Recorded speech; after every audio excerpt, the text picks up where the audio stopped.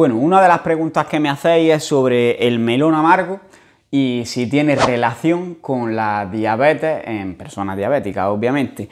Eh, cuando hablamos del melón amargo no me estoy refiriendo al melón que conocemos en España como melón, sino que se trata de una fruta que viene de Asia, se ha cultivado principalmente en Asia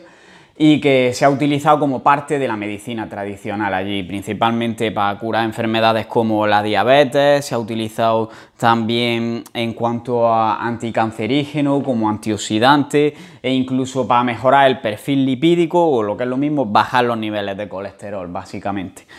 Pero claro, en la medicina tradicional no es que se base mucho en la evidencia, entonces vamos a ver un poquito aquí los estudios que hay al respecto y si de verdad puede funcionar para bajar los niveles de glucosa, que es la principal propiedad que se le ha atribuido al melón amargo. Si queréis buscar más información, por melón amargo es difícil encontrarlo, así que buscad bitter melon con dos T y ahí lo vais a encontrar en Google. Bueno, el mecanismo por el que se supone que el melón amargo va a bajar los niveles de glucosa en sangre no se sabe, pero existen muchas hipótesis, como por ejemplo que va a reducir los niveles de glucosa que absorbe el músculo o directamente que va a reducir la absorción por parte del intestino.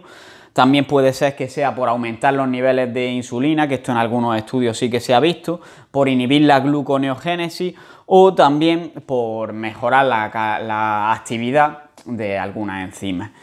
Lo que hay que saber aquí es que en realidad el melón amargo tiene muchos fitoquímicos, que son sustancias que pueden tener ciertos efectos beneficiosos para la salud, pero como tiene diversos que pueden actuar por diferentes mecanismos, no se descarta ninguno de ellos, sino que puede que existan sinergias entre todos estos fitoquímicos y consigan eh, por diferentes mecanismos funcionar bajando la glucosa, sumando unos efectos a otros. No sé si me estoy explicando. Bueno, vamos ya con lo importante y es en cuanto a los estudios que hay sobre el melón amargo. Y lo primero que hay que decir es que son estudios en general que la mayoría se han hecho en ratones o estudios in vitro, es decir, que se han hecho en un tubo de ensayo reproduciendo un medio parecido a lo que sería el cuerpo humano, pero de estos estudios, tanto en ratones como in vitro, solamente vamos a poder sacar ciertas hipótesis. También hay estudios en humanos, pero que tienen limitaciones claras, como por ejemplo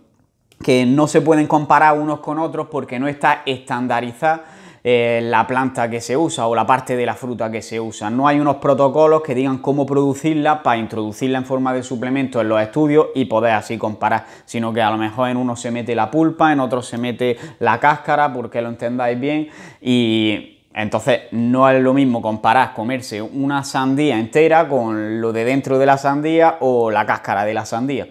Creo que me estoy explicando. Además también las muestras suelen ser bastante pequeñas, se hacen en muy poca gente los estudios, la duración suele ser bastante corta y a veces incluso se mezcla con algunos medicamentos, que es otro factor de confusión porque vamos a confundir lo que sería el efecto de estos medicamentos con el efecto del melón amargo. De todas formas, voy a comentar algunos de los estudios que me han parecido más interesantes y que se han hecho en humanos con mayor calidad y en uno de ellos lo que se hizo fue comparar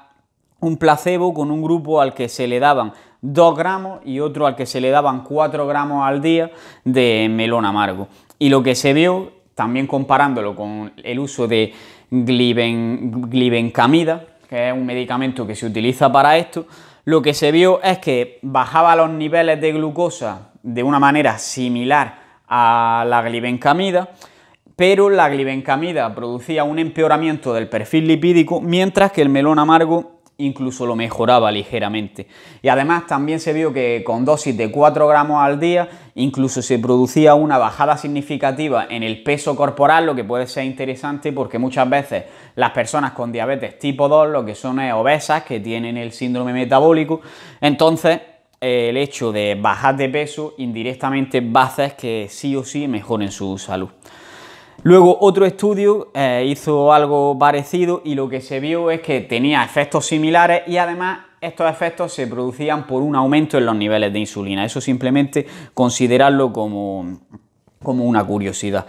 Eh, otro estudio, en vez de utilizar aisladamente el melón amargo, lo que hacía era mezclarlo con la medicación habitual de los pacientes diabéticos. Y en este caso se vio que cuando se añadía el melón amargo junto con los medicamentos que tomaban habitualmente, no tenía efecto respecto a tomar simplemente los medicamentos. Y además se vieron o se reportaron en este estudio más casos en cuanto a efectos secundarios y adversos respecto a los otros estudios en los que se veía solo, lo que puede hacernos pensar que igual combinarlo con otros medicamentos no es muy inteligente y que puede que tenga cierta interacción con ellos incluso.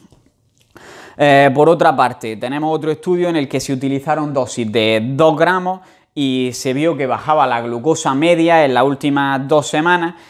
y se comparaba además con eh, la administración de metformina, que es un medicamento que se utiliza muy a menudo en el caso de personas diabéticas y no bajaba tanto como cuando se utiliza metformina. Pero bueno, ya que vemos que sí parece que puede tener efectos beneficiosos en cuanto a bajar los niveles de glucosa,